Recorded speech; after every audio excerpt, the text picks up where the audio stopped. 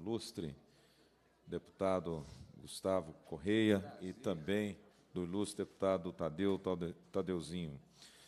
A presidência, nos termos do parágrafo 1 do artigo 132 do Regimento Interno, dispensa a leitura da ata da reunião anterior, considera-a aprovada e solicita a sua subscrição.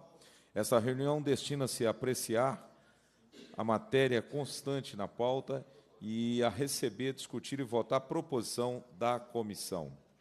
A presidência informa o recebimento das seguintes correspondências.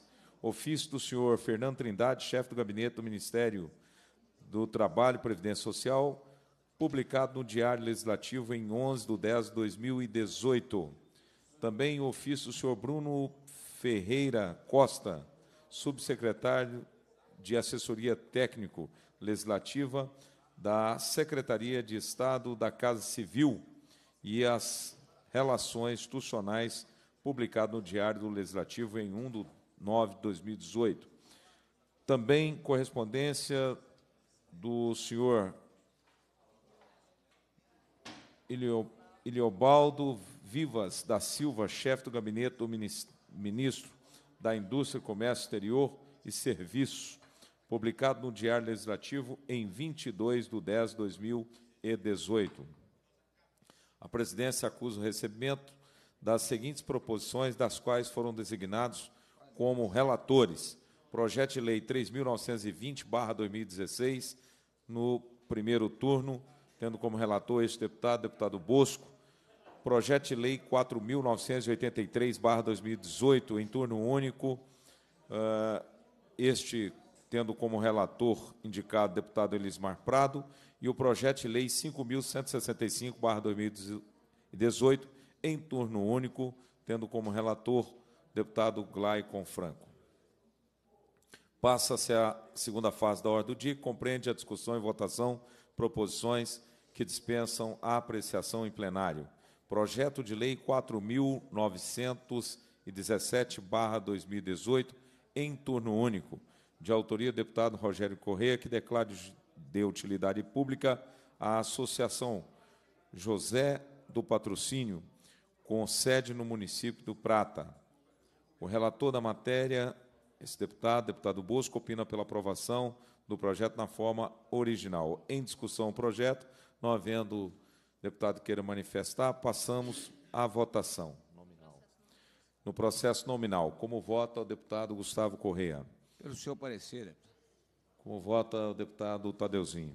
Também voto pelo parecer, então fica aprovado o projeto de lei 4.917-2018. Projeto de lei 5.139-2018, em turno único. Esse projeto de nossa autoria, portanto, passo a condução dos trabalhos ao deputado Gustavo Correia.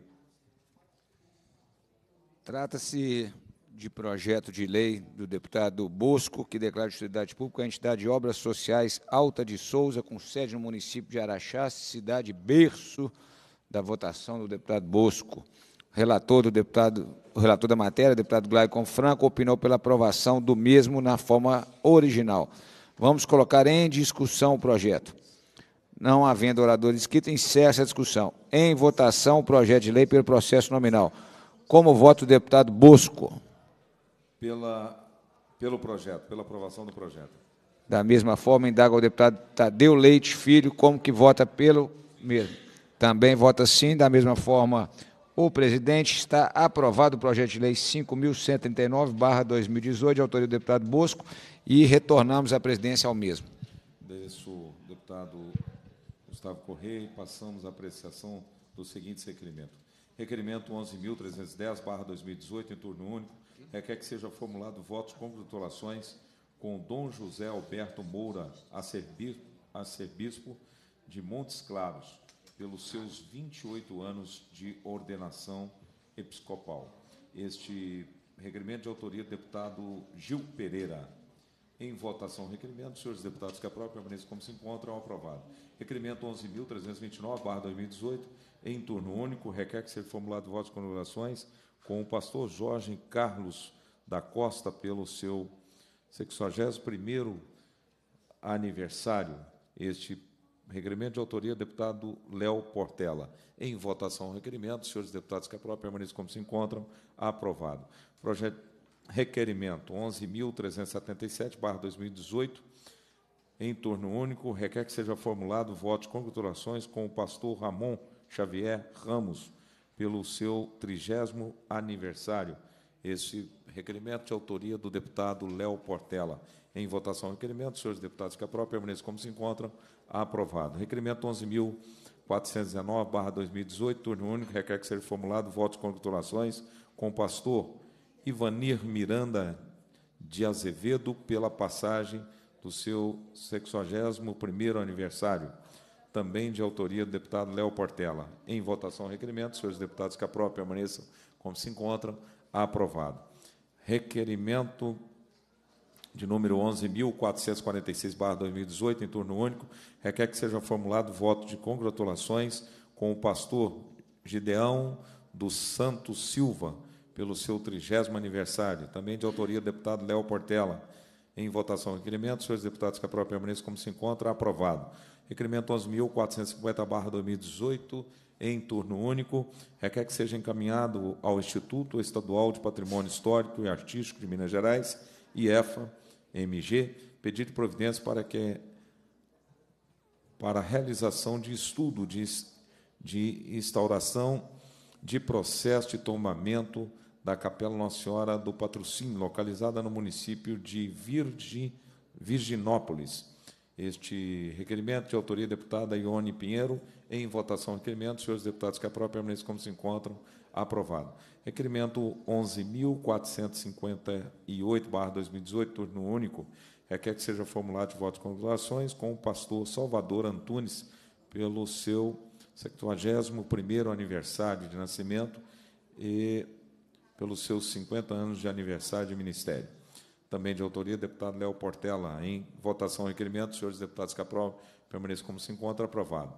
Também requerimento de autoria do deputado Léo Portela, 11.478, barra 2018, requer que seja formulado voto de congratulações com os serviços de missões aos povos, SEMAP, pelos 30 anos de missões. Em votação o requerimento, senhores deputados que aprovam, permaneçam como se encontram. Aprovado.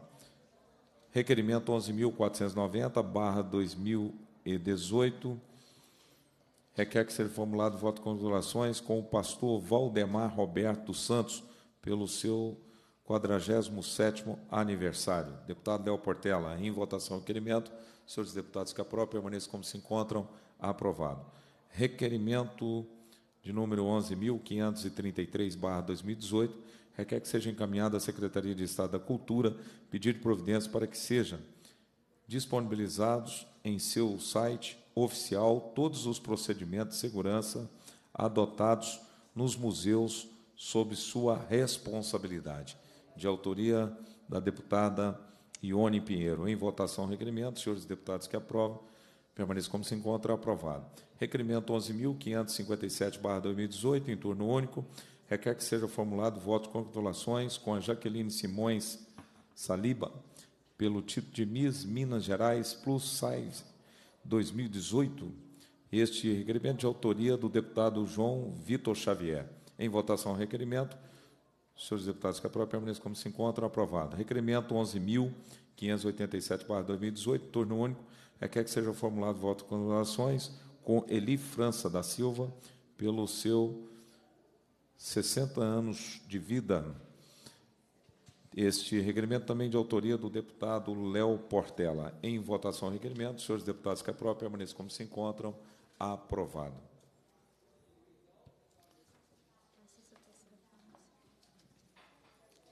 Tem mais cinco minutinhos? Bora. Sobre a mesa, parecer de redação final do projeto de lei 4.712-2018 em discussão. O parecer, não havendo deputado querer manifestar, encerra-se a discussão. Em votação, senhores deputados que aprovam, permaneçam como se encontram. Aprovados. Aprovado o parecer sobre o projeto de lei 4.712. Requerimento da deputada Marília Campos, com o seguinte teor. A deputada que subscreve requer a Vossa Excelência, nos termos do artigo 100 do Regimento Interno, que seja realizado visita à comissão de, da Comissão de Cultura à Estação Gameleira, no município de Belo Horizonte, para conhecer as obras de construção do Centro de Referência da cidade do Circo. Deputada Marília Campos, do PT. Requerimento Vou fazer a leitura de todos eles e depois votamos de forma conjunta, cada um por sua vez. Está ok? Lembrando que já estamos na terceira fase da ordem do dia. Deputada que subscreve, requer a Vossa Excelência, nos termos do artigo 100, para 18 do Regimento Interno, que seja realizada reunião com convidados da Comissão de Cultura para debater o circo e a vida da comunidade circense em Minas Gerais, também de autoria da deputada Marília Campos, do PT. Requerimento do deputado Rogério Correia, com o seguinte teor: deputado que se subscreve requer, nos termos regimentais, que seja enviado ao Conselho Federal da Ordem dos Advogados do Brasil pedido de providência para que este se posicione no Supremo Tribunal Federal contrariamente à procedência de arguição e descumprimento do preceito fundamental número 183, que trata da retirada dos artigos da Lei Federal 3857 de 1960, que cria a Ordem dos Músicos do Brasil e dispõe sobre a regulamentação do exercício da profissão de músico. Requerimento também do deputado Rogério Corrêa, com o seguinte teor, o deputado que subscreve requer que, nos termos regimentais, seja encaminhado ao Supremo Tribunal Federal as notas taquigráficas da terceira reunião extraordinária da Comissão de Cultura, que teve por objetivo debater a arguição de descumprimento do preceito fundamental 183 e os impactos para a classe dos músicos profissionais que a decisão final dessa corte leve em consideração os argumentos apresentados pelas entidades representativas da classe. Também de autoria do deputado Rogério Correia, requerimento com o seguinte teor: o deputado que subscreve requer nos termos regimentais que seja encaminhado ao Ministério Público do Trabalho pedido providência para que este se posicione no Supremo Tribunal Federal, contrariamente à procedência da arguição de descumprimento do preceito fundamental 183, de que trata da retirada dos artigos da Lei Federal 3.857 de 1960, que cria a Ordem dos Músicos do Brasil e dispõe sobre a regulamentação e exercício da profissão de músico. O deputado que subscreve requer nos termos regimentais também que seja encaminhada à Comissão de Cultura da Câmara dos Deputados pedir de providência para que esta se posicione contrariamente também à procedência da arguição do descumprimento do preceito 183, de que trata a retirada dos artigos da Lei Federal 3.857 de 1960, que cria a Ordem dos Músicos do Brasil e dispõe sobre a regulamentação do exercício da profissão. O requerimento com o seguinte teor, o deputado que subscreve requer nos termos regimentais que seja encaminhado à Comissão de Educação, Cultura e Esporte do Senado Federal, pedir providência para que esta se posicione também contrariamente à procedência da arguição do descumprimento do preceito fundamental 183, que trata da retirada dos artigos da Lei 3.857 de 1960 que cria a Ordem dos Músicos do Brasil e que dispõe sobre a regulamentação do exercício da profissão dos músicos. Em votação os requerimentos, cada um por sua vez, senhores deputados que aprovam permaneçam como se encontram, aprovados os referidos requerimentos. Por fim, o requerimento aqui da nossa autoria, passo a palavra, a coordenação dos trabalhos novamente ao deputado Gustavo Correia.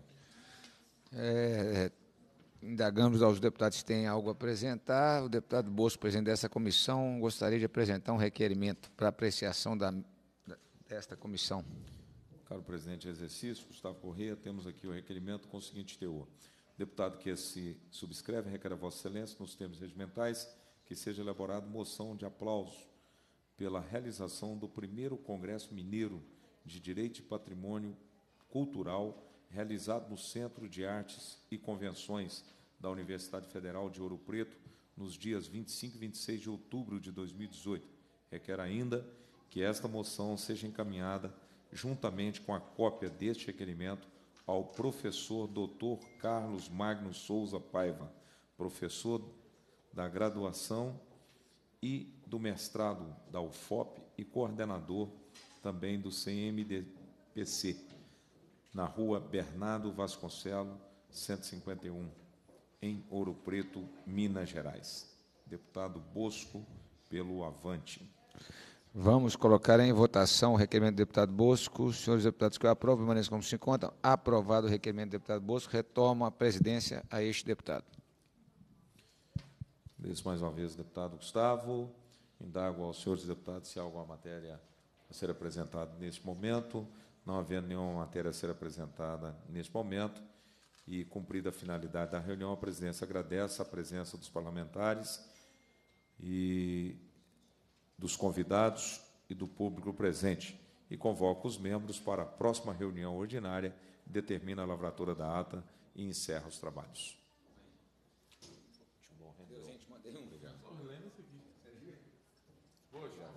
Vamos lá.